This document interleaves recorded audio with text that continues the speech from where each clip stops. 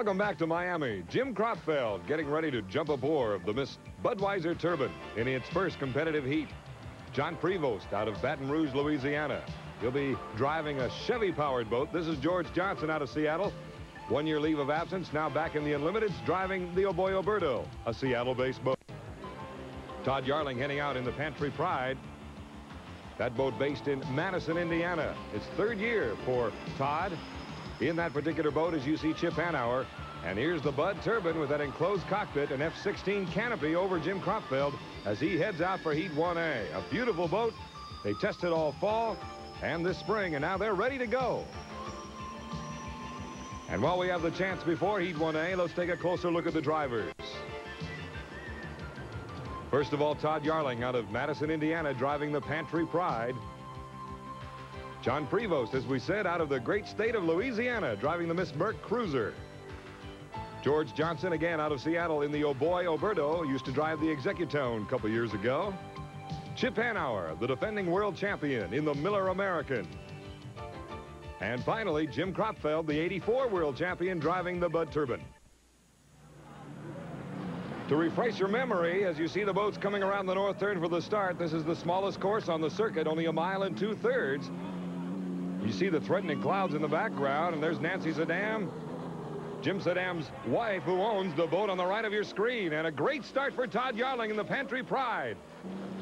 George Johnson, the Oboy Oberto, a legal start. I believe George Johnson, though, has been black flagged because he was not up on a plane at the one-minute gun. We'll wait and get official word. A great start, though, for Todd Yarling in lane number one in the Pantry Pride as he heads down the back chute. Again, a mile and two-thirds course. The Budweiser, the Turbine, coming up on the outside with Jim Kropfeld. Bernie Little watching on, wanting to get a victory here in his home state of Florida. But Todd Yarling giving it a great shot. This is Len Slider on the left, president of Pantry Pride, getting his first taste of unlimited hydroplane racing. And that boat right there is doing a job for him. Yarling holding on to first place going into the north turn here on lap number one.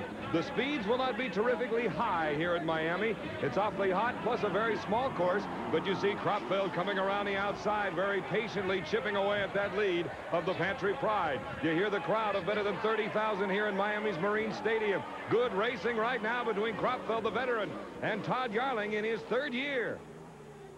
Going in now to the south turn. Yarling now in a turbocharged Allison with a carburetor rather than fuel injected. Much more power than what they've had in the past with that turbocharged engine. This is John Prevost with a Chevy engine inside the Miss MerCruiser. John, a great seven-liter driver, coming up with the Unlimiteds. George Johnson still running, but we now understand he has been black flagged.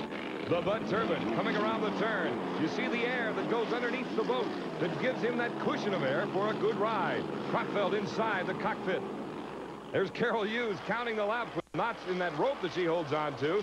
Now you see the Bud and the Pantry Pride splitting apart to get past Prevost. Again, counting the knots on the rope to keep track of how many laps have taken place. Back to the Budweiser.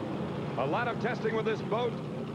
You won't recognize it from the back end. They have cut away the transom to allow more spillage of the air should the boat get out of attitude. A great safe boat for Jim Kropfeld to drive.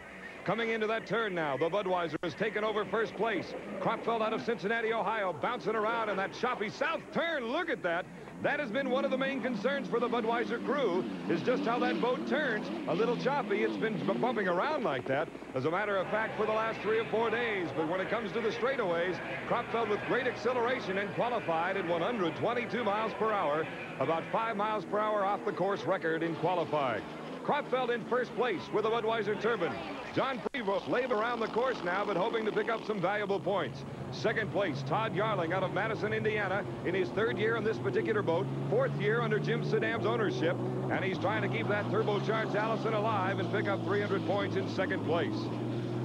Great place to watch hydroplane racing, much closer here to the boats than you are normally in the other racing sites around the country. You can hear John Prevost, that Chevy engine in the black boat, the Miss Merck Cruiser. That's been a project of John's all alone, designing the boat, building it, and now he's running it. But the Budweiser in first place with Jim Kropfeld out of Cincinnati, Ohio. The crew hoping to get a victory here in Miami. They've won six of 15 races taking place down here in Florida. And they would love to pick one up here. They won in San Diego the last race of 1985. And Jim Kropfeld gets 400 points. Winner of Heat 1A in the Bud Turbine. Second place will go to the man from Madison, Indiana, Tom Yarling. As he comes around the north turn, and he'll pick up 300 points. And again, we run four preliminary heats before the final. So with 300 points, he'll be sitting pretty. If he gets any points at all in the second go-around of the preliminary heats, he'll be in good shape. Kenny Washer, the crew chief, with a headset on. The crew giving their all rights. Nancy Sedam, she's happy with the finish of Todd Yarling and the Pantry Pride. So Budweiser, 400 points and 300 points to Todd Yarling and the Pantry Pride. With an average speed of just over 100 miles per hour, Kropfeld again getting the 400 points, one for one for the day. Only two boats finishing. Let's go down to the Budweiser camp and a comment with Jim Hendrick. Your first uh, victory in the first heat ever in this yeah, boat. Yeah, I was just congratulating Jim here. Uh, first time it's ever been in race competition, and uh, Miss Budweiser uh, did it, uh, the first one, so that means we're going to not lose any. Oh look out. Jim, what happened to your boat? I see you big, big ding in it. Gosh, I don't know. I didn't know. I didn't see anything till I get out, but I could tell I had a loss of power there, and I think that probably caused it. The uh, yeah, it's like a tuned stack back there, and it, uh, I don't know when it happened, but I could tell that it wasn't up to par. Okay, that's it from the Budweiser camp, Don. All right, let's let's talk with whoop, let's talk with Todd Yarling, second place. Nice way to start for the Pantry Pride. Oh yeah, it was, it was a long winter. You know, we we went from scratch and designed and, and built our own systems in the boat. We figured there's got to be a better way. Well, that's good. Jim And it's Sedam. paying off. Well, you went with the turbos now. Turbo Allison, Oh, Jim yeah, we're, Sedam. We're turboing with a carburetor. Most of the other turbo boats down here are fuel injected, and when we get the bugs worked out of it, we're going to chase the heck out of all of them. Great way to start 86. Oh yeah, Fantastic. and the people with Pantry Pride, they've just really been a big help for us. Up next, Heat 1B.